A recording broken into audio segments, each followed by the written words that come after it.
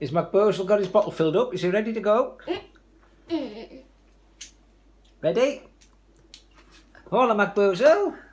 Have you got your bottle of scotch filled up, have you, old lad? Yeah? Oh, yes, I Have have. you got your bottle of scotch? How many bottles of scotch have you had today? And what were you doing while all the children were in school? Uh, I think. I think he was sleeping it off. No, I wasn't. Uh, I.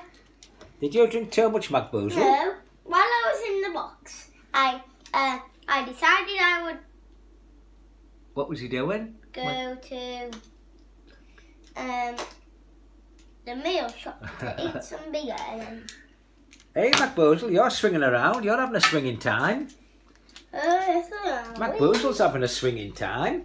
I, I didn't need to swing. Hey, you drunken old Scotchman. Put that bottle down. Look at him. He's a bloody alcoholic. Hey, you drunken old like I was Scotchman. And like I was saying, my my opening mouth strings came off.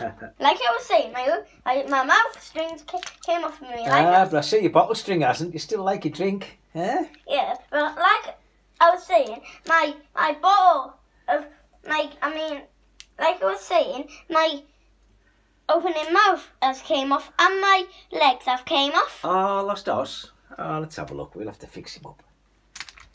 Bye for now, Macboozle.